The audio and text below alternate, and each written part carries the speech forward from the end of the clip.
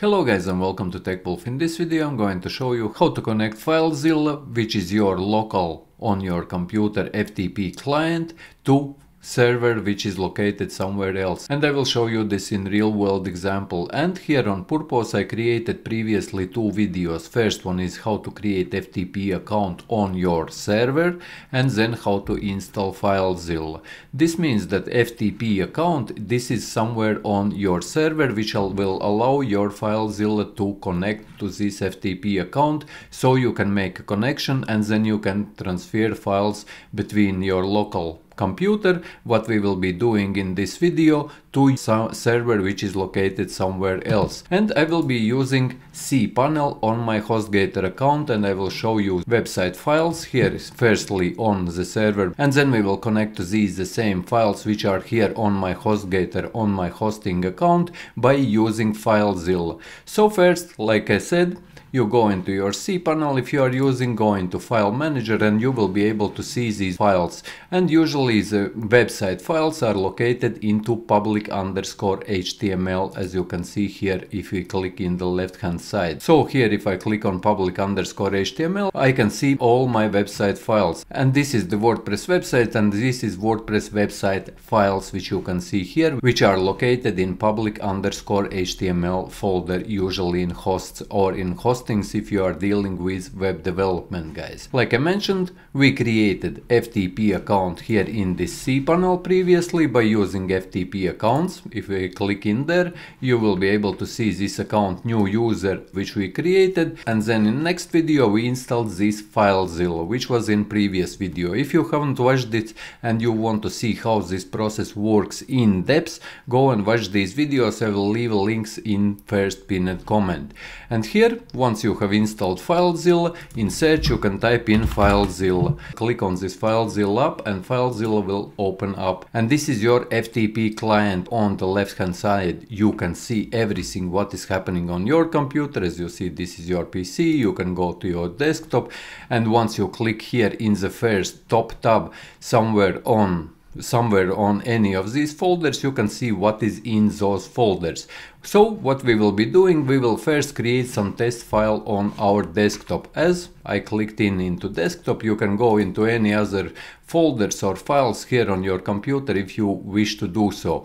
But we will be using some some file to send it to our server from our desktop. So I will go to desktop and right click and click on new and hover over new. And by using my notepad++ I will create some file. As you see text document. I will just create a text document and I will call it test.html this is just a file which we will be using for the purposes of this video but you can transfer this way images folders, files, zipped folders and all other media which is on your PC to your server. And after we have created this file we will go back to cPanel where is our account.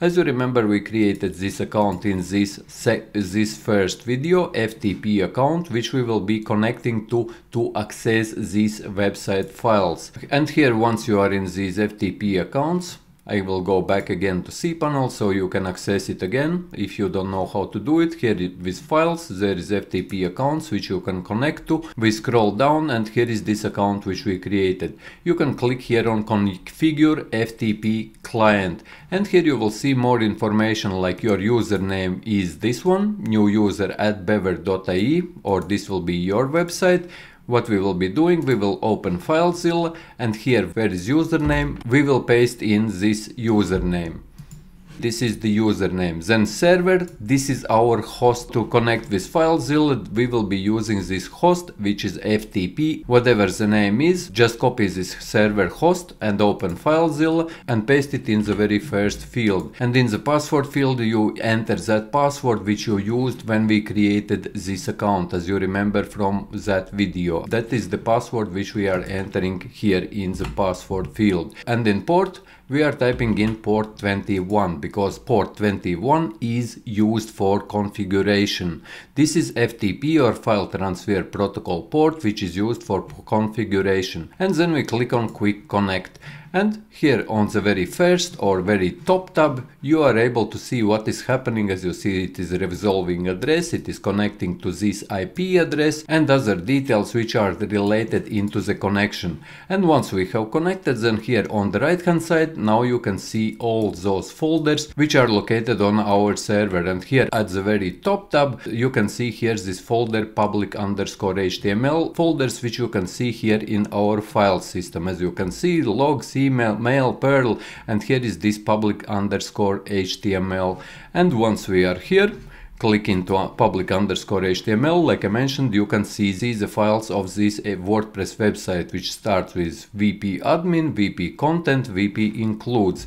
And if we go back now to our FileZilla FTP client, then if we will click into this public underscore HTML, you will see here at the very bottom, in the bottom tab, there will open this VP admin, VP content, VP includes the same files which we can see here on our server if we access it directly from our cPanel. And for example, if we would want to add some file from our local computer, not using a server login, but by using FileZilla, we go into desktop and we created this file test uh, .html this is .txt file. Actually it created as a, txt file but it doesn't really matter. And there is easy way how you can add this file into your public underscore html folder.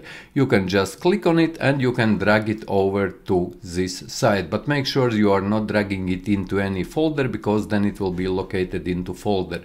And once you drag it over to this side and you let go mouse it will automatically transport this file. As you can see it is here text.html.txt and similar way you can drag files from your computer which is on the left hand side to this right hand side to add folders or files onto your server directory.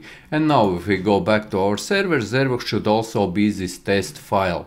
If I just refresh and once this is refreshed I again click in I again click into public under public underscore html and here should be this file. As you can see it is here test.html.txt this is generally how you can easily transfer files between your server and between your local computer. So your local computer environment is on the left hand side, your server environment is on the right hand side. By just dragging and dropping you can move files from your server to your local computer. There is also more ways how you can do it. For example, as you can see here, I am now in my server. I can right click on this folder. There is also download option. If I will click on this, it will download this folder VP includes, let, us do it, let's download it, it will download it to my desktop. As you can see, it downloaded here to my desktop. And here once it is downloading, here on the top part you can see what is happening in the server,